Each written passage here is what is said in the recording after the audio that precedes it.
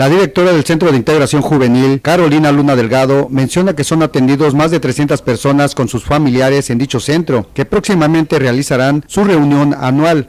Y en esta reunión anual de voluntarios, bueno, se va a ofrecer un homenaje a quien fue 19 años presidente del patronato del Centro Costa Rica,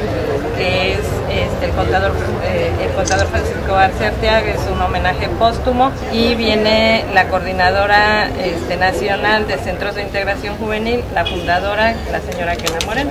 Agrega que la mayoría de jóvenes están entre los 16 y 20 años de edad y son sus familiares quienes los llevan por el consumo de sustancias.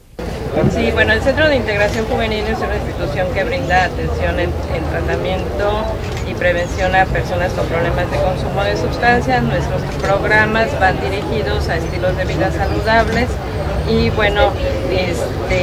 dentro de la atención en Poza Rica ya llevamos más de 30 mil personas atendidas en prevención, más de 300 personas atendidas en tratamiento y bueno, este, una situación que habíamos estado teniendo es el consumo de inhalantes, lo cual ahorita ya vemos una tendencia a la baja,